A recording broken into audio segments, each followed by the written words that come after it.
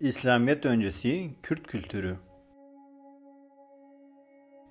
İslamiyet'in doğuşundan bir müddet sonra İslam orduları İran egemenindeki topraklardan başlayarak Irak üzerinden Haran'a kadar yayılmaya başladılar. İslam orduları 637 yılında Dicle yakındaki Kadisye kentini Sasanilerden alarak Cizre'den Haran'a geçtiler. Oradan da Diyarbakır'a kadar uzanan Medya ülkesine giden yollardaki kapıları İslamiyet'e araladılar. İranlıların bu yenilgisi sonrasında Arap orduları Dicle boyundan kuzeye doğru yürüyerek Haran'a kadar girdiler.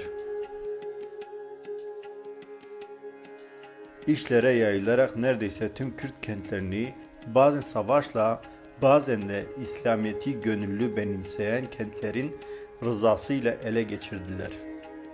İslamiyet öncesi dönemde Kürtlerin büyük bölümü Zerdüştlük yani Ezidi inancına bağlıydı.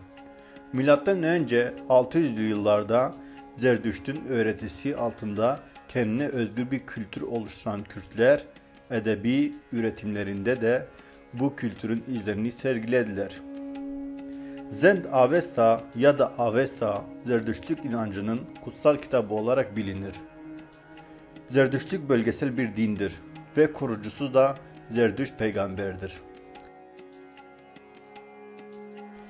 Bazı kaynaklarda milattan 600 yıl önce Ari halkının yaşadığı bölgede gelişen Zerdüştlük inancının kutsal kitabı Avesta'nın Zerdüşt peygamber tarafından yazıldığı belirtilir. Ari halk kavramı Hint-Avrupa dillerini kullanan kavimler için kullanılır. Hindistan'dan Batı Avrupa'ya kadar uzanan bu bölgedeki halklar Ari ırk teorisine göre tek bir ırk olarak kabul edilir. Dört kutsal kitabı ile Zerdüştlük inancının kutsal kitabı Avesta arasında büyük benzerlikler vardır. Zerdüştlük peygamberin felsefesi insan kaynaklıdır. Kötülüğe karşı iyiliği, karanlığa karşı aydınlığı, şiddete karşı barışı savunan Zerdüşt, tüm inanlarına da fakirliğin ortadan kalkması için çaba göstermelerini vasiyet eder.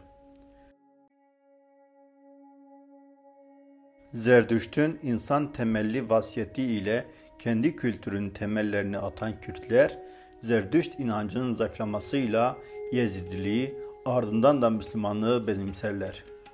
İslamiyet'in benimsenmesi aynı zamanda Kürt edebiyatının sözlü gelenekten yazılı metinlere geçişinde başlangıcıdır.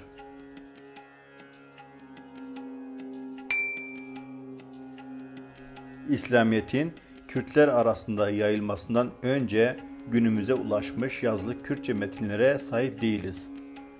İslamiyet öncesi dönemden kalan yazılı ve tek metne 1950 yılında İngiliz arkeologlar tarafından yapılan bir kazıda rastlanılır.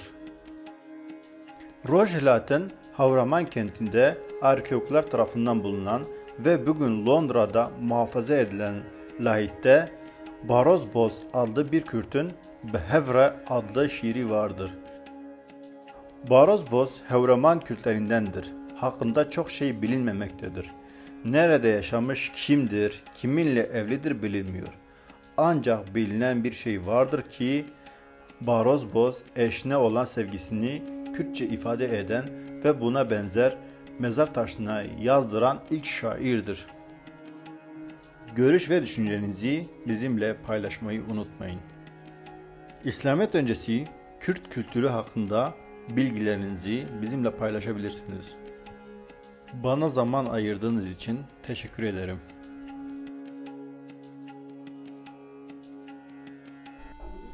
ji bo vîdeoyên halo hûn ما پارە بکن جهوال هوگری هۆگرێ خۆژاژی پێشنیار بکن دکو ام به مەزم ببن بمێن خێرە خوشیدم دم باشم